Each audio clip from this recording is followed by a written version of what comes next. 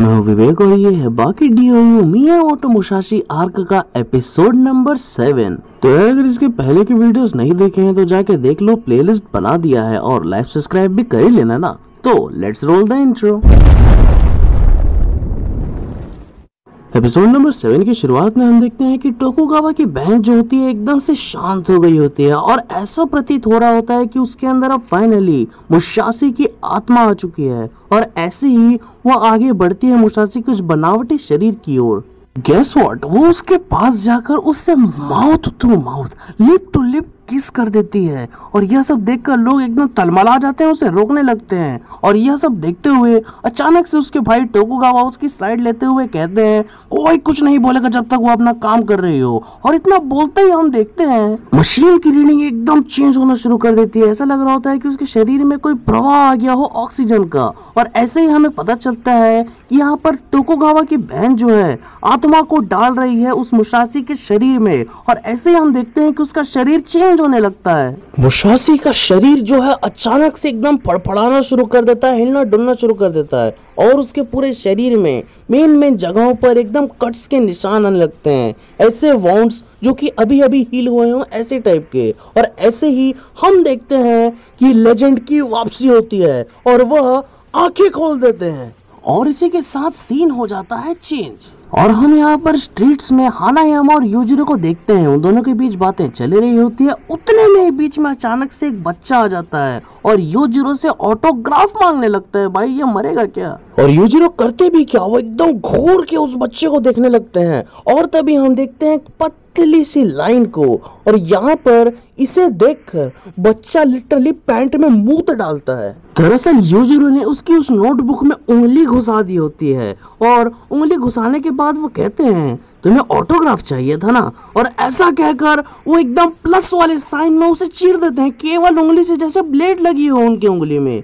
पूरे एकदम ऐसे टुकड़ों में फाड़ देते हैं यार। ऐसा ऑटोग्राफ तो केवल एक ओगर ही दे सकते हैं और यहाँ पर बच्चा एकदम से कांपते हुए डरते हुए मुंहते हुए पैंट में उन्हें थैंक यू कहता है और वहाँ से निकल जाता है। और हानायामा यहाँ पर कहता है हम्म यहाँ पर लोग कम है क्यों ना हम शुरू करें? तो इसका जवाब में ओगर कहते हैं बिल्कुल तुम जब भी चाहो। और इतना सुनते ही हानायामा जो है एकदम से अपने पोजीशन में आ जाता है और दोनों रेडी होते हैं लड़ने के लिए और तभी सीन चेंज होता है और हम देखते हैं कि टोकुगावा के बहन के मुँह को उशासे ने पकड़ लिया होता है। और इतना ही नहीं, वो एकदम तिलमिलाने लगती है और तभी अचानक से हम देखते हैं स्विंग से एकदम से उसे वो फेंक देते हैं डॉक्टर के ग्रुप्स की तरफ़ और वहाँ पर वो एकदम गिर जाती है जाकर डॉक्टर्स के साथ साथ। इससे पहले कि वो लोग संभले अचानक से मुशासी उनके पीछे आकर खड़े हो जाते हैं एकदम लाइट स्पीड से और यहाँ पर उन्हें एकदम आश्चर्यचकित नज़रों से देख रहे होते हैं। लेकिन एकदम डेविल की झलकियाँ दिख रही होती है मुशासी में। और अपने उसी आइकॉनिक स्टैंस में, अपने न्यू बॉडी में वो खड़े हुए रहते हैं। और तभी सीन होता है चेंज और हम देखते हैं, अब यहाँ पर हाना पूरी तरीके से एकदम मुड़कर अपना स्टैंस ले लेता है और बूम बहुत ज़ोर से एक पंच मार देता है योजिरो के मुँह में। बहुत ज़ोर से पंच लिटरली लगा होता है योजिरो को। लेकिन वो टस से मस नहीं हुए होते। इससे पहले कि योजिरो अपना सिर भी नीचे करे अचानक से आना में एक और घूसा उन्हें मार देता है जिससे होता यह है कि योजिरो के नाक से थोड़ा सा खून आ जाता है लेकिन अभी भी वो टस से मस नहीं हुए होते।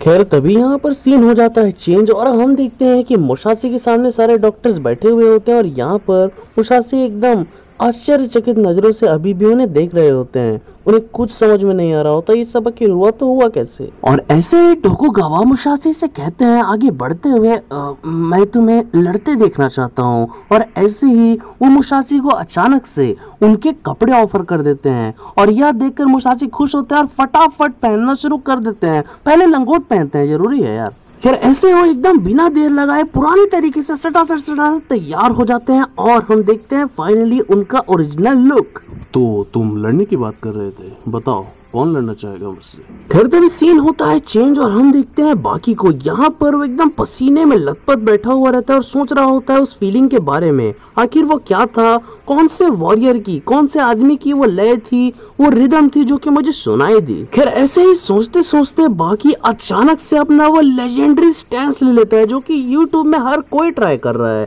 खैर, ऐसे ही वो एकदम से अपने पैर को सीधा करके खड़े हो जाता है, अपने हाथों के अंगूठों के बलियार और यहाँ पर कुछ यूजरों भी याद नहीं दिला रहा। और यहाँ पर हम देखते हैं हानायामा और योजिरो की फाइट को, जो कि शुरू ही अभी हुई हुई होती है, और यहाँ पर हानायामा अपनी ताकत एकदम ज़्यादा लगानी शुरू कर देता है। लगातार कई सारे पंचेस वो जड़ दिया होता है अभी तक योजिरो को। हानायामा एकदम पागलों की तरह योजिरो को पीट रहा होता है। योजिरो टच से मस नहीं हो रहे होते, अपने जेब से हाथ ही नहीं निकाल रहे होते। उनके फेस में, गले में हर जगह पंच करे जा रहा होता है हानायामा लगातार। इतना ताकतवर लगा रहा होता है कि ज़मीन में गड्ढा तक होने लगता है। और ऐसे ही लड़ते लड़ते मारते मारते हम देखते हैं आनायामा मूव को चेंज करता है और वो एकदम गुस्से में बढ़ता है योजिरो की ओर और उतने में योजिरो उससे रोक देते हैं। इतना ज़ोर से रोकते हैं कि बहुत ज़ोर से रुक जाता है वो। और तभी यहाँ पर सीन हो जाता है चेंज और हम देखते हैं कि टोकुगावा अपनी महँगी वाली चकाचक गाड़ी में चकाचक रोड में चल रहा होता है। उसे लेकर किसे? मुशासी को यार। और यहाँ पर मुशासी सब देखकर चौंक गए होते हैं। इस तरीके की चकाचौंध कैसे आ गए भाई इस दुनिया में? और यहाँ पर मुशासी भी मान लेते हैं कि सच में मोदी सरकार के आने के बाद से बहुत परिवर्तन हुआ है उत्तर प्रदेश में। और यहाँ पर ऐसे ही वो देखते देखते जाते रहते हैं और एपिसोड हो जाता है समाप्त।